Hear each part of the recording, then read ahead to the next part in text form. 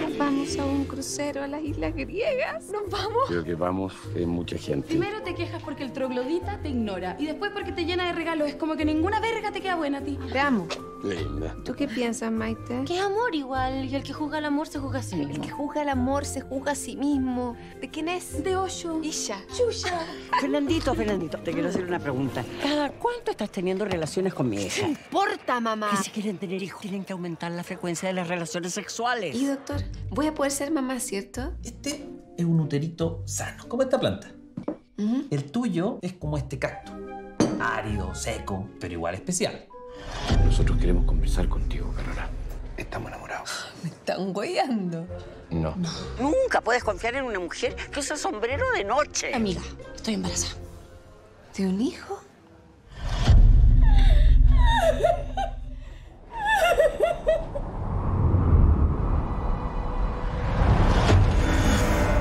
En un manicomio. Clínica Psiquiátrica Eden, el paraíso de la Mi sanación. nombre es Carolina y estoy acá por una equivocación.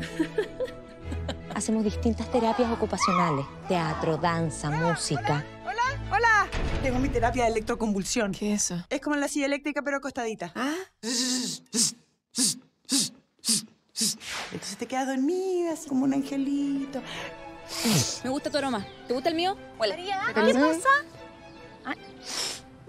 ¡Qué rico! Es piña. Piña. Piña. Te traje unas cosas para mejorar tu estadía aquí. Esto no es una cárcel. Ah, no, puedes salir cuando quieras. No, Cárcel, pues. necesito salir de una vez, por favor. Que me dejen volver a mi casa porque yo no estoy loca. Mira, Carolina, tú fuiste la que intentó suicidarse. ¿Pero por qué ese hijo de puta dejó embarazada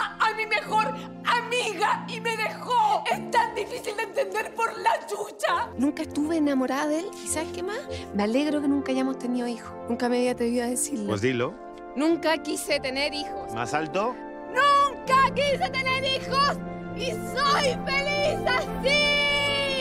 Mamá, esto es lo que soy. Te guste o no, esta es tu hija. Loca. Este es el muro de la sanación. Si usted se fija, puede hasta escuchar cada mensaje de los pacientes. Ámate, quiérete, acéptate. La culpa no existe. Tú eres tu propio Dios. Chupa lameando. Ah, no, es. Uy, esa manita hay que sacarla.